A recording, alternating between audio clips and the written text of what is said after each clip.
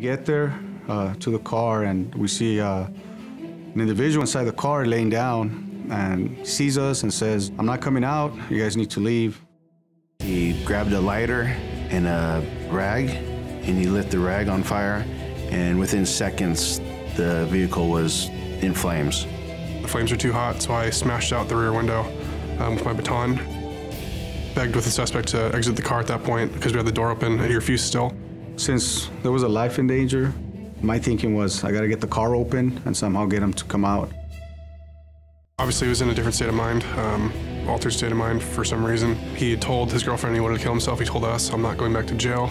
And so it was clear at that point that he was going to go through with what he said and he intended to kill himself. And so we needed to save his life. It's not something uncommon that suspects don't want to go to jail and they're, they're uh, either on drugs or have a mental altered state. So we're, we're able to talk to them and talk them off a ledge, so to speak.